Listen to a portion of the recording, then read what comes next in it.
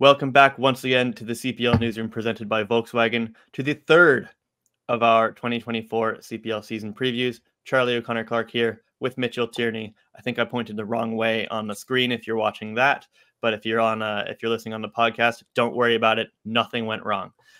Um, anyway, if you've worked it out by now, we're going in order of the 2023 CPL standings. We've done Cavalry and Forge. That means today is the Halifax Wanderers, who obviously finished the season with uh, the same number of points as Forge, 42. Uh, I think it was the fourth tiebreaker. It was away goals that uh, that landed them in third. Uh, you know, I guess it's just kind of the way that it the way that it worked out last year. Anyway, a very strong 2023 for the Wanderers under Patrice Gheisar. I am putting 10 minutes on the clock for our five questions about Halifax. Mitchell, question number one: After such a successful uh, 2023 season, how do the Wanderers prevent a drop off in 2024? Yeah, I think it was huge that they were able to to keep their core. Um, I, I, think that you know there was the potential that a lot of these players could have moved on because they were so good in in 2023. You look at like a Zach Fernandez, Daniel Nimick, even Cale Loughrey uh, reportedly had some interest. Lorenzo Callegari, like you go throughout that lineup, and uh, it is surprising that they kept so many incredibly influential players from last year. So that's a that's a big one for them. Um, and I think you know the next one is is with any team. You know, you just have to have that little bit of tactical evolution. Teams have tape on them now. Um, there were a lot of things that I think eventually they picked up on in terms of Halifax last year. You know, building out of the back, different things like that, and we're able to to frustrate them a little bit. But uh, if this team can, you know, uh, be tactically flexible and and take a few more steps forward, um, that that'll help them. And again, I think recruitment wise, they've added a lot of exciting new players and strengthened a lot of positions. So um, that's always going to help as well. You have that familiarity and you build off it. Um, there, there's a lot to like about what Halifax did this offseason. A hundred percent. I I think one thing to remember, and I was at their training last week. Their their preseason tour. I spoke to Patrice Gheisar, and I was like, you know that last year you guys exceeded your own expectations. And I think they're very open with that. They didn't expect to finish tied for second on points in their first year under him with so many new players coming in, but they bought in so quickly. Now it's tempering expectations a little bit and, and understanding that this league is very competitive and obviously things came together very quickly. They can't expect a similar jump all the way to the top of the table immediately, but I think it is still, you know, becoming that more cohesive unit.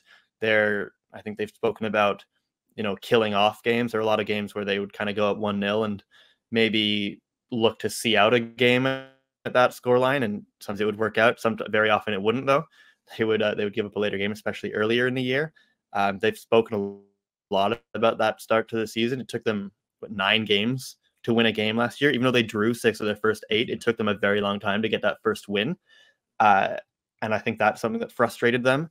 And and then again, it's just having more of those moments. They saw the end of 2023 at the Wanderers grounds, a packed house for their first home playoff game against Pacific. It didn't go their way. They lost to Pacific. They hit the woodwork, I think, twice in that game. Uh, thanks to what was it? Was Thiago Coimbra and, and Riley Ferrazzo.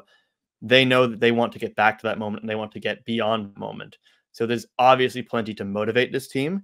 Uh, and I think they are very realistic with how difficult it is to get there, and, and I don't think there's going to be, you know, any resting on laurels for this club in 2023. Question number two: One of the things that they they're certainly going into this year with a focus on is can they improve away from home? It took Halifax until I think July 30th at York Lions Stadium to win their first away game last year. They were very, very good at home. But Mitchell, can they and how do they improve their road form? Well, I mean, if they had better road form, uh, they would have been at least in second, and they would have been playing, you know, uh, against Cavalry uh, in that one-two game, and you know, who knows what would have happened there and how different things could have been. But yeah, I think it was just two away wins last season, uh, a bunch of draws, so you know they they were competitive certainly away from home, but I think first and foremost, it's just experience. I mean, it wasn't just the players, obviously, who were learning what it's like to travel. Um, you know, it was the coaching staff as well. They were used to League One Ontario, used to these short bus trips, um, that kind of thing uh, across the province. Where now you've got to go coast to coast and and deal with all of the different activation and, and everything and preparation that goes into that. So now having a, a full season under belt of learnings in terms of that, I think we can expect better from Halifax this coming year. But I do think that's probably one of the biggest keys if this team wants to take a step forward. Um, they do need to be much better at picking up three points on the road. And um, yeah, we'll see how they can do in terms of that. Yeah, that's a huge part. We know that playing on the road in the Canadian Premier League is hard. It is very this is a very very big country. There are long flights.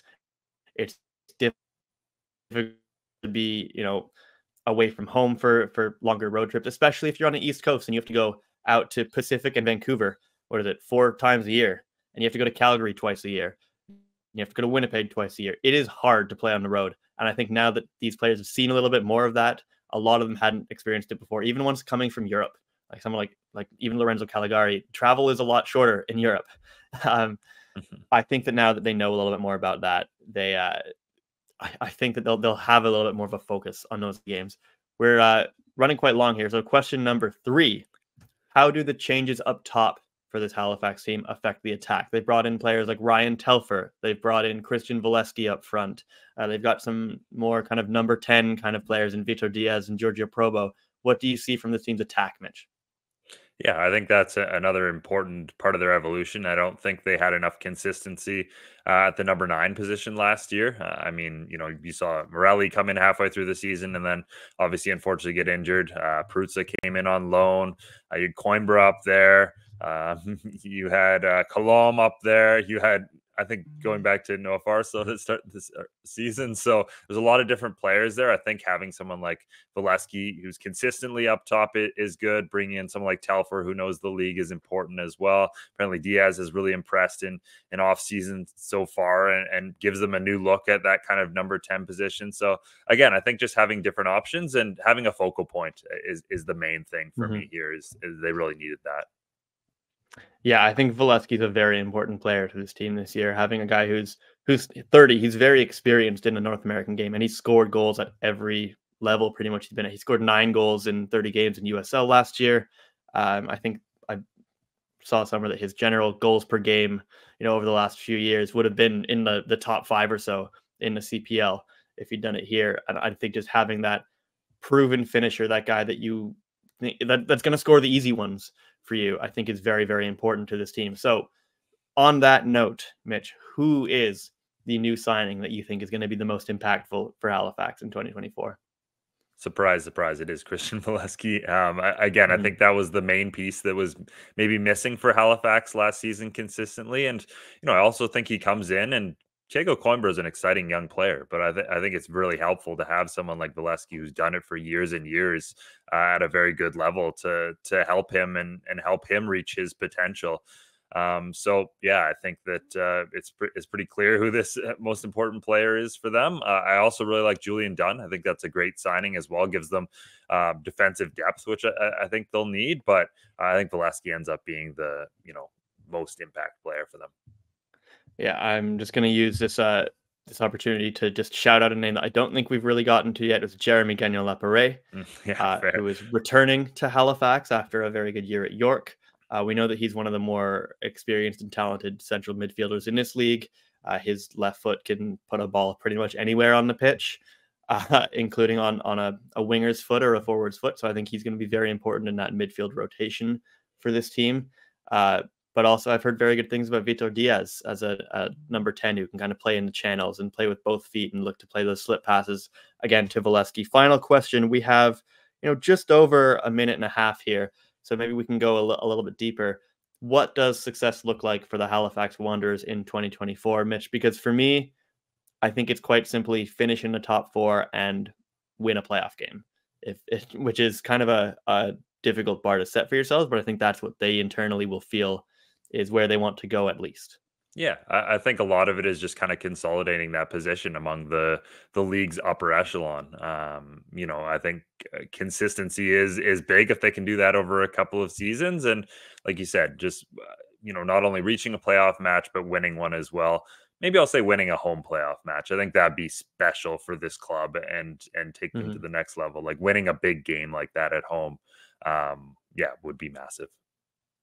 Yeah, I, I think so too. I mean, we've seen them have those big days at home. We saw during a regular season last year how you know electric the Wanderers grounds can get when they win a dramatic game. Like there's that that late one they won against Ottawa. There's that dynamic penalty against Forge.